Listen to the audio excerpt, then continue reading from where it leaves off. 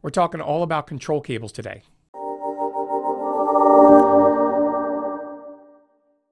Hey everybody, Scott Daly here from Carl Stahl, Sava Industries, and today we're talking about control cables or push-pull uh, cable assemblies with uh, design engineer Kyle Bartosik. Welcome, Kyle. Hi, Scott. How are you? Good. It's great to have Kyle today because I've never spoken with him in this format, and I'm super excited to do it with you. So before we dive into control cables, let's just hear a little bit about your audience knows nothing about you yet, right? So mm-hmm. I mean, you've written some blogs with us, but tell us a little bit about you. Yeah, absolutely. So uh, I've been here at Sava Industries for nearly a decade now. Mm-hmm. And uh, before that, I had attended uh, Worcester Polytechnic Institute, where I studied uh, aerospace engineering. And that you studied aerospace engineering is that an indication of a love of yours? Do you are you are, are you do you have a love of the science of flight? Yeah, uh, absolutely. Uh, planes to me are they're they're an engineering marvel. Uh, everything is so precisely designed and, mm-hmm. and calculated, but really it, it, still feels like magic that this metal tube can seemingly defy gravity and, and fly in the sky. I love flying too, but I, I don't I don't analyze flight as you just described it. But I sure do love being in the air. It is it is quite something. It, it really is. Wonderful. It is a miracle. Yes. Yeah. Um, so let's dive into control cables. Um, so let's start with the, the simplest question, which is what is a control cable? Uh, a control cable, really simply, is is just a, uh, a, a, cable assembly that transmits motion, force and motion, uh, from point A to point B. Uh, whether that point B is five feet away, 15 feet away, mm-hmm. or 50 feet away, it doesn't matter. And give us some examples of push pull or control cables that we could get our heads around? Uh, yeah, uh, uh, I would say a, a, very common application or a very common example of a control cable assembly is in your lawnmower. Uh, there's a, a, cable assembly that runs from the choke that you're always using to just turn on and off mm-hmm. the uh, the thing, all the way down to the carburetor that controls the airflow uh, of the engine. Sure. another example I would say, oh, is in your bicycle. Um, in the handlebars of your of your bike, um, that there's a control cable assembly. It runs from your brakes, the handlebar brakes, all the mm-hmm. way down to the actual disc brakes to use and to allow you to stop. Sure. Uh, if we're going to more advanced cases, uh, I would say uh, ejection seats is is another good one in planes, or, or maybe in helicopters, really. Sure. Um, yeah, uh, I mean, hopefully you never need and to use an ejection seat, mm-hmm. but uh, in the times that you need to, the, there there's a control cable assembly there. And what's interesting to me is that when we say control cables, it's actually not entirely an accurate representation of what we're talking about because it's actually an assembly. There's multiple components that comprise a a control cable. You talk about a little bit what about the parts that comprise a control cable? Yeah, uh, so there's a, a, handful of components to a, a control cable. Uh, you start out with the core wire or cable. Uh, you have the casing that, that it runs through, and uh, uh, two or more fittings on on the ends. And uh, when you've got this assembly fully ready for the customer, what are some of the decisions that went into that? Because I imagine that not there are no two cable uh, push pull or control cables that are identical, right? So, what are some of the considerations that you apply as a designer of these assemblies? Yeah, uh, absolutely. You, you do have some. Um, some uh, pros and cons to, to mm-hmm. each one. I would, and isn't it also true as an engineer? I'm sorry to interrupt no, you. Yeah. That there's often, as a designer, an engineer uh, of these products, that there's a bit of give and take, right? Yes. Like you have to make, and your cu- your customer who you're collaborating with, they know that too, right? Like there's, you can, you, you're telling them you can have these three things, but it's going to come at the risk of one of these. So talk us a little bit about that. Yeah, uh, uh, always give and takes uh, with these things. Uh, I would say some of the biggest give and takes is uh, first, I would actually first you have to determine whether it's going to be a, a pull application mm-hmm. or a push application. That, okay. That's going to be your, your first uh, give and take. Uh, because in a push application, uh, you typically use something, uh, you, a solid core wire or a stiff cable construction like a 1x7.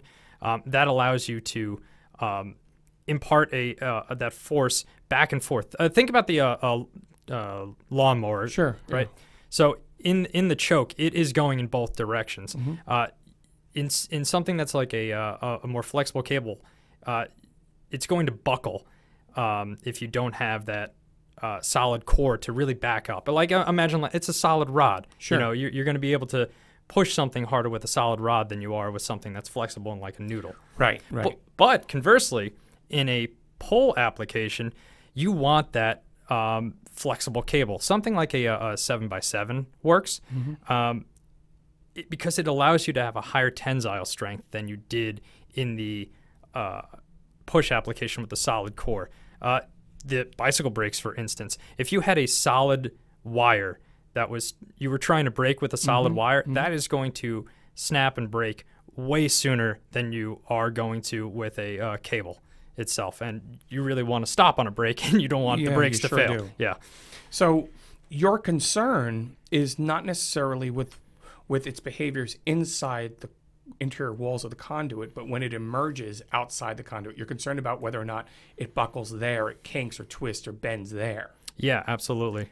So that leads me actually nicely into my next question, which is the conduit. Um, why don't you talk to us a little bit about the importance of it, the significance of it? Uh, yeah, so the, the conduit really is important because uh, I mean, first off, think about it as like the the highway that the core or inner cable drives on. Sure, yeah. Right. Uh, the the conduit allows you to route your your cable or route your system uh, all the way through without the need of like links or pulleys. Um, it, it also what it does is it prevents the buckling of the cable. So uh, so as it's running through, it's constantly being redirected uh, to to your. Yeah, I think of a point B. bike, right? With the brakes, your example, that's twisting and turning before it finds its way to the caliber for E- the brakes. Exactly. It's it's not just a straight line. Caliper, It's- excuse yeah, me. Yeah. but It, it's not just a straight line. It's it's going all the way around to make sure that you can you know brake. Right. Um, it, it also provides something very important. I mean, even in the brakes example, um, it, it prevents uh, particulates from getting inside and, and gunking up the the system. Mm-hmm. If you if you had things that got inside, you, you would now would take so much more force to actually generate to get it to that same, same because because particulate, as you put it, um, unwanted artifact inside the interior walls of that conduit can be a progressive problem. Yes. So when you say it can get harder to actuate this push or pull motion, it's because as alien, you know, material get comes in contact with the inside, it can start to fight with the cable. Is that what you mean? exactly exactly. So is the inside of the cable lubricated to allow for this smooth transition of the cable? Actually, no. Uh, It's it's the complete opposite. It is not lubricated on purpose. You you only want to use something like a, uh PFTE or Teflon, some sort of lining, plastic lining. If you use lubricants, the lubricants tend to pick up the the debris, pick up these like small little parts, and gunk up the system. So, oh, that's interesting. So, if we were to lubricate the interior walls, it would act as gravity for material you don't want introduced to the inside of the Exactly. conduit. Exactly. And so, because this is obviously, it's, I mean, to hear you tell it, no two um, uh, push pull assemblies or control cables are the same. So, if that's the case, then what is your advice for engineers who are designing or handing you a drawing for a control cable? What is your recommendations to them? Yeah, uh, I, I exactly as you said. There, there really is no one size fits all solution for control cable assemblies. It really is highly customizable. I, I really would encourage a collaborative effort with the uh, engineers to ensure that we can finalize and ensure that you can get the correct design in your system. I've seen it oh, way too many times. I've seen it firsthand where on paper it, it's a perfect design. It, it works in testing over here and whatnot, but the engineers didn't take into consideration how the uh, control cable would actually be installed in their system. Whether it's how it would actually get routed or how would the casing would be secured. Uh, these really are important factors to consider when. when Is it designing. also well? Okay, so that thank you. Uh, so last question, Yeah. promise. Um, great conversation, by the way. Thank you. Um, because you're talking about revisions, is it common that you're getting a drawing um, for let's call it V 1.0, and by the time you're giving the customer thousands of these, you're on version oh? 5.0? Yeah, absolutely. There, there really are. Uh, You, you just go through so many iterations uh, to to uh, settle on the correct uh, control cable assembly because th- th- there's so many different um, things that can happen. Uh, you, you might want to design like for this cable, and in testing you realize ah maybe this isn't as strong, or you designed it for this type of fitting, and it's, oh this fitting may be too large and maybe too small. It's it really takes uh, many iterations to to get And it if, right. I imagine if you took that drawing at face value and didn't question at all, just did, weren't skeptical about any of it, you would produce the cables that are identified in the drawing or produce the assembly part of me that's identified in the drawing, hand it to them, and then they would learn the hard way that it doesn't fit for whatever reason.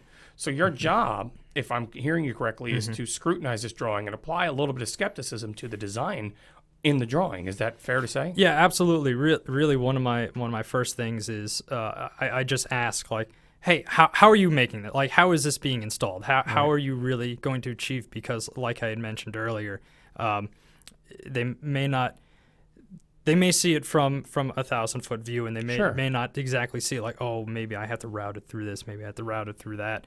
Um, it really just takes a big collaborative effort. Right and I mean they're folks who have likely made uh, push pull cables and push pull control assemblies for their application whereas you're seeing them hundreds and hundreds of times every year for a variety of different usages. So you have the benefit of being able to spot maybe that that fitting at the end shouldn't be put on there yet because how are you going to put it in your system once it is on? Exactly. So there's all these little things you have to identify. You have to kind of almost see in the drawing the flaws 10 steps later. Exactly. Exactly. Interesting. Yeah. Interesting. Well, Kyle, thank you so much. I really do appreciate it. It was a delight, and I look forward to doing more of these with you. Yeah. Thank you. Uh, if you liked the video uh, on control cables or you didn't, we'd love to hear from you in the comments. And um, for that matter, we'd love to, for you to subscribe to our YouTube channel as well. You can find us all over social media. And of course, you can contact us at savacable.com there's really not much we can't do for you. So please do ask your questions about your custom applications, etc. Uh, again, thanks so much, Kyle. Thank you. And uh, we'll see you real soon, everybody. Take care.